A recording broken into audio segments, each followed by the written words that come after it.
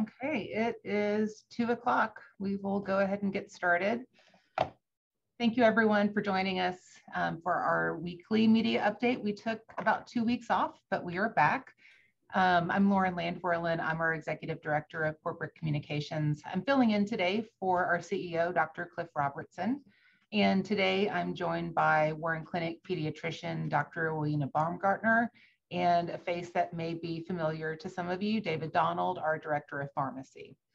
So today, if someone can pull up that screen, um, I'm going to start with a quick overview of our current COVID statistics. So on here, you can see that we continue to see a decline in our COVID inpatients. These numbers look to be about the same as they were right before the last surge. Um, the good news is, is that they're still on a downward trend versus the upward trend that we saw before the last surge. Um, let's click to the next slide. And then you can see our yearly comparison. The red is 2021. Um, there's a um, nice trend line heading down. So hopefully we continue that through the holiday season. And then next slide. And here is the information that you can see on our online COVID dashboard at stfrancis.com forward slash COVID-19. Today we have 76 um, inpatients with 39 of those being in isolation and our average age of patient is 56. Of our 76 inpatients, we have 19 on a ventilator and our average age for those patients is 52. Um, again, all of these numbers are updated um, daily on our website. And if you have any questions um, about those stats, we can take those at the end. Um, but now I will turn it over to Dr. Baumgartner, who is going to be talking about um, pediatric patients and the COVID-19 vaccine, which has been getting a lot of news, but we are happy to have a local pediatrician talking about how that looks um, for our community. Rowena? Um, hi, I'm Dr. Rowena Baumgartner. I'm a Warren Clinic uh, pediatrician, like Lauren said. Um, today, I just want to go over a few stats about COVID in the pediatric population, um, and then um, a little bit about the vaccine, and then we can open up for questions for anybody, okay? Um, so we have um, at St. Francis, um, at our Children's Hospital, we've had about 312 children age 17 and under hospitalized for COVID 19. Um, and that started uh, tracking back in about uh, March of 2020. Um, and for the past several weeks, we've had about seven kids in the hospital at a time, um, and that number stayed pretty steady. It may go up or down by one or two, but that's been pretty steady. Um, and of course, that doesn't count um, uh, the children who have been seen in offices or urgent care locations and tested positive and are stable and, and convalescing at home. Um, and so, you know, as most of you probably know, when COVID first started, um, we didn't really know how children would react to it, how would they, what symptoms they would have. And so as it has evolved, um, we've seen obviously a lot more children um, with COVID-19 um, and the symptoms tend to look like any other virus, which tends to make it a little bit complicated. Um, they can have cough, runny nose, headache, fatigue, fever, body ache, sore throat, vomiting, diarrhea, and sometimes can have some red eyes and some other um, indiscriminate rashes. Um, but again, it looks like any other virus, so that can make it a little challenging for um, physicians to try to weed out, um, you know, just the common cold um, with um, the more severe COVID-19, of course.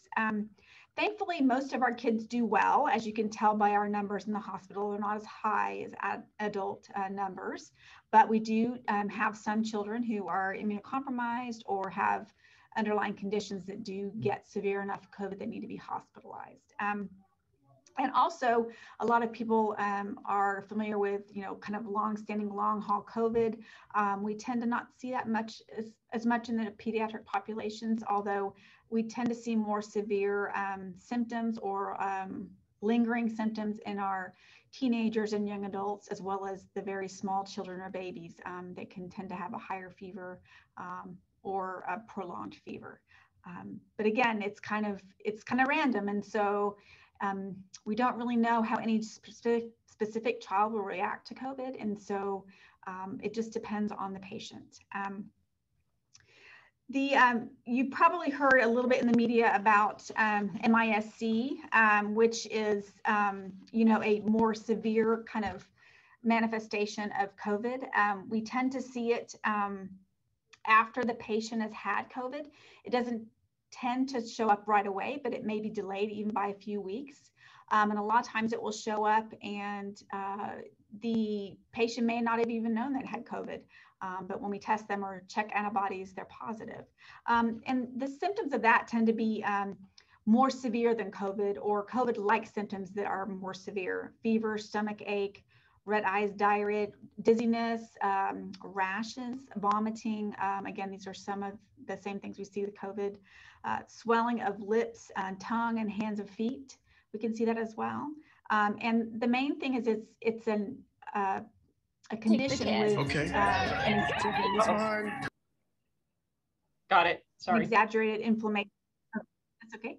And exaggerated inflammation of, of the organ systems. Um, so we, we can see that, and that is um, a more severe uh, manifestation of it. And some, a lot of times these kids need to be hospitalized or at the beginning of that type of illness are hospitalized for their symptoms. Um, and the treatment is mainly um, supportive, um, IV fluids, oxygen if they need that, steroids and antibiotics in some um, capacity, and sometimes IVIG, which is a special um, antibody IV uh, medication that we give for some uh, those cases. So the biggest uh, thing in the media, obviously, is the um, CDC and FDA um, approval of the COVID-19 vaccine for our kids age 5 to 11. Um, and the good news is that um, the data looks uh, really promising. Um, it looks very efficacious, so you know, very uh, worthwhile to help stop COVID and um, also to help with hospitalization and severe illness. Um, some other interesting things about the study have shown that they did not have any cases of myocarditis, which I know um, in some of the older uh, late teens, uh, early adults had had some of that. And also, there have been no um, cases of anaphylaxis that I am aware of in those studies, which is really great news. Um, and a lot of people ask, you know, why why should I, you know, a lot of people on the fence, should I get their child vaccinated? Why should I get my child vaccinated? Um, and those are great questions. Um, we of course always want our parents to advocate for their children and to make sure they feel comfortable with um, anything that they are going to be treating their children with. Um, but the good news is that most of the kids do great with vaccination. Um, they also actually tend to have less symptoms after that second dose, um, which you can sometimes have fever, aches, headache, um, chills, and they tend to have a lot less of that as well. Um, and the kind of the reason we've been talking about why is it important for this age group to be vaccinated, um, and there's a couple of them. There are people in that age group who are do have underlying illnesses like asthma, congenital heart disease, or kidney disease that really need to be protected from getting COVID at all because they might have severe illness. Um, and then there's also, um, you know, just the added benefit of protecting them from getting COVID and spreading it to other uh, populations who may not be vaccinated, um, other immunocompromised adults or young adults or older adults who have chosen not to get vaccinated. Um, so I think there's some, um, a lot of good um, data to show that it's helpful for kids and also for um, the community and for their families.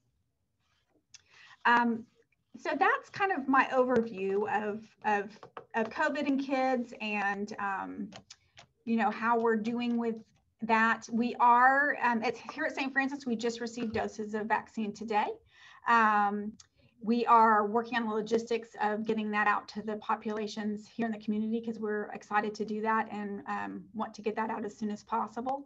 Um, we are um, going to be doing it at on campus at St. Francis and um, if uh, Savon's going to share a screen here, um, if you go to the St. Francis website and you click on the COVID-19 banner at the top, um, you can actually schedule children age 5 to 11 now. She'll go through that for us and show you where to do that. Um, the vaccines will be given at our COVID uh, vaccine clinic here in the Springer building across from St. Francis, Main. Um, and they can make an appointment. Um, also, our health departments, especially in our outlying areas, our health departments will also most likely be doing that. So I'd ask the outlying um, areas check with their health department and see when and where they're going to be offering those. Um, but we're excited to offer this as a service to our community, um, to those people who would like to get the vaccine for their children.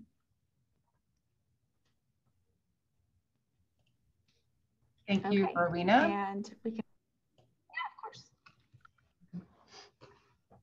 So we have um, David Donnell online should any questions come up specific to the vaccine itself.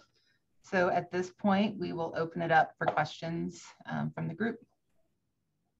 I do have some questions about the vaccine. Um, I know the new doses come with the yellow top as opposed to apparently they have been coming with a purple top on them. I thought that this was the same fluid, just a lower dose for kids. Um, can you tell me why we need the special yellow topper fluid if this is just the same thing adults have been given on a smaller basis? Thank you. Yeah, I can take that one. Um, so, you know, it's a different concentration.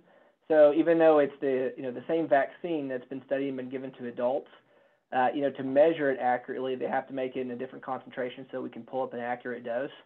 Uh, so as a result, they want to make sure they formulate it in the most safe to use, uh, you know, formulation so that whenever we store it, uh, we don't have confusion when we're pulling it up. Because you can imagine in, you know, a lot of the sites that are giving them to a variety of different age groups, uh, that's a risk that you have to make sure that you've got a good plan for, so you can give different doses to different patient populations. Uh, so actually, the diluent's a little bit different as well.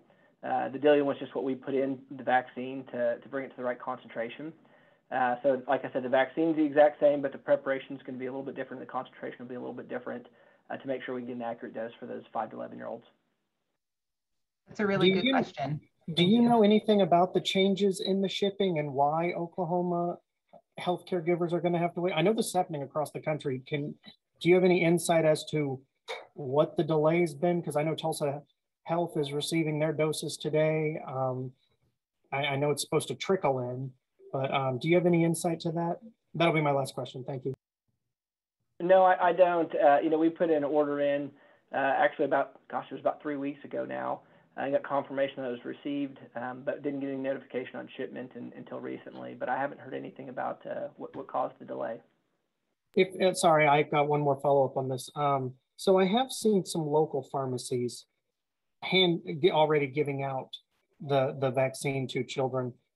Are they giving them the adult dosage and just changing what's in the the, the syringe, or did somebody get some doses ahead of time? Do you know? Now, I know that there was some small shipments received by Oklahoma last week. Uh, like the Tulsa Health Department uh, was able to pull in 50 doses uh, for St. Francis. It's just not the large shipments that we ordered. Uh, so, I mean, again, I can't speak for every pharmacy out there, but but I would imagine that anybody that's giving pediatric vaccine is is using the, the proper product.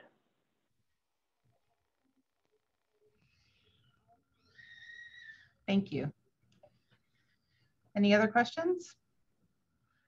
Yeah, I've, I've got one. And, and I think I know the answer to this, but I just want to make sure that parents know that the dosage is based on age, not body size, not weight. So a parent who says, well, my 11 year old is, you know, 180 pounds, doesn't matter. They're still going to get the pediatric dose. Can you talk a little bit about that? Um, I mean, th- that I've, I've heard people talking about that, and David can also comment as well. Um, you know, if you have a very large 11 year old, that would be up, that could be up to the physician to make that choice. But in ty- typically, um, it is by age. Um, David, can you allude to anything else that you've heard? Yeah, I mean, there's, you know, that's not uncommon for meds. Most medications that we dose are, are weight based, uh, but some of them are age based, and and uh, really it just goes back to that's how they studied it. So, you know, what we can say is is that you know in the in the patient population that they studied that was five to 11, uh, that dose was enough to elicit an immune response, immune response, and also um, you know low enough to to minimize side effects. And so, uh, you know, I mean, I think in in most pediatricians' opinion, most pharmacists' opinion, you're going to have a group of patients that, whether they be 11 to 12, would, would be fine with either one of them, but that's just not what was studied. So we're going to stick with with the, with what the recommendations were and and follow those. But I mean, it, it's a good point. I've had a lot of people that have said, "Hey, I've got a 12 year old that's actually large, or that's actually smaller than my 10 or 11 year old, and, and this seems a little funny." And uh, again, it, it, you can see other medications that are, are dosed in a similar fashion that are age based. And we'd always encourage parents to consult with their family's pediatrician um, if they have questions specific to their child. You know, another um, you know complicating one that's come up that we've received some questions on that's kind of up the same that's in the, the same path is, you know, what if your child's age changes in the middle of this. And so the American Academy of Pediatrics actually uh, recently came out and said if your child gets to lower dose and then they have their 12th birthday before they get their second dose, they'd actually recommend getting the second dose of a lower dose as well. Uh, so again, something you can chat with your pediatrician about, um, but you know that's what the recommendation is is for now. Thank you. And just to clarify, at this time, the only one that is approved for this this age group, five to eleven, is the Pfizer BioNTech. And my understanding is the dosing regime, while that's a smaller dose, the actual application is the same. You you get the shot and then you wait. What is it, four or five weeks, and then you get the second. 21 days. Yes, that's correct. So the, the dose is 10 mics, and then you repeat that in 21 days for, for 5 to 11 year olds. It's 30 mics for 12 and above. All right. I think that's all I've got, guys. Good question. Thank you. Anyone else? Hi, it's Elizabeth from uh, Public Radio Tulsa. I was wondering, uh, I've been seeing on social media, but haven't looked into it, that COVID, sorry, it's my dog, is a, is a leading cause of death in children now. Is that right? Do you have any information on that? Um, I, I can't allude to that specific um, statistic, but I have, you know, the one of the recent um, statistics I heard last year, last sorry, last week was that about 25 per cases, uh, 25% of cases um, nationwide are, are pediatrics, and that is mainly because they're the unvaccinated um, population, and and a lot of uh, adults and young adults have been um, vaccinated. So um, that wouldn't surprise me. Um, I have heard some of those statistics, and that sounds probable, but I can't quote you 100% on that. David, have you heard anything specific? Well, uh, what I've seen for 5 to 11 year olds, so keep in mind this is 5 to 11 year olds since this is the age group we're talking about for this vaccine. Uh, and, and, this is maybe a little dated now, but it, it, was the eighth leading cause of death, not the first leading cause of death. But you know, still that's concerning if it's if it's up there at all.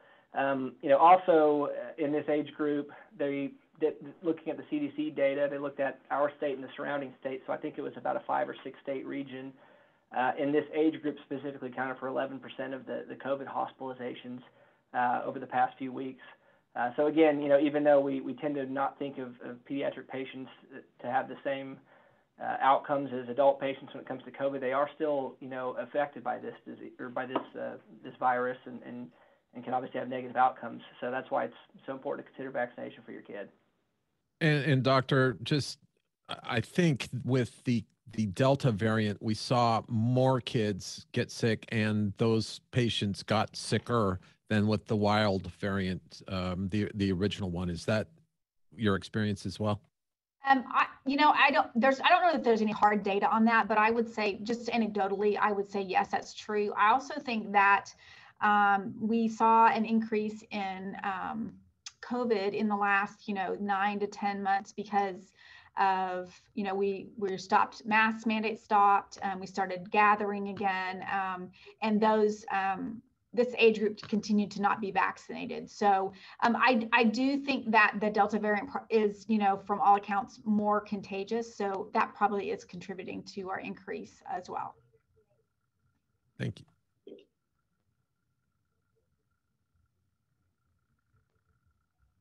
Anyone else? If anyone's having technical issues, you could also put your question in the chat if that's easier.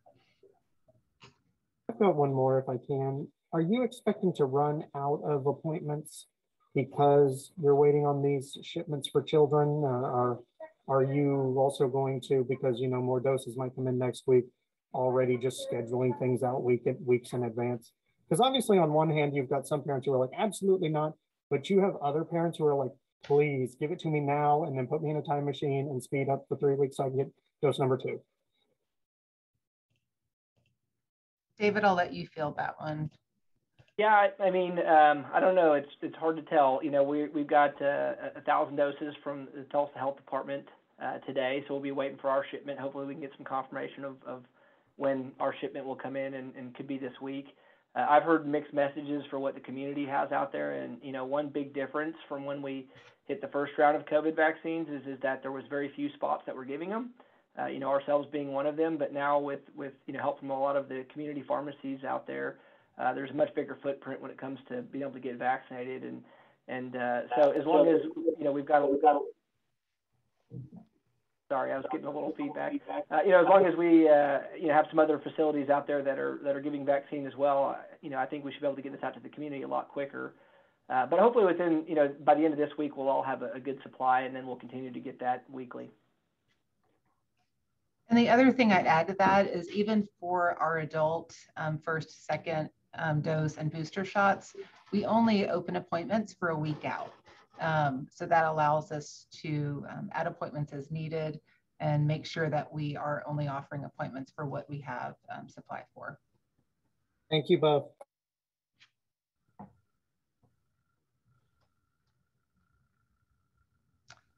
If there aren't any other questions, we will wrap it up for this week. And of course, you can always follow up with myself or Saban if you have any follow-up questions.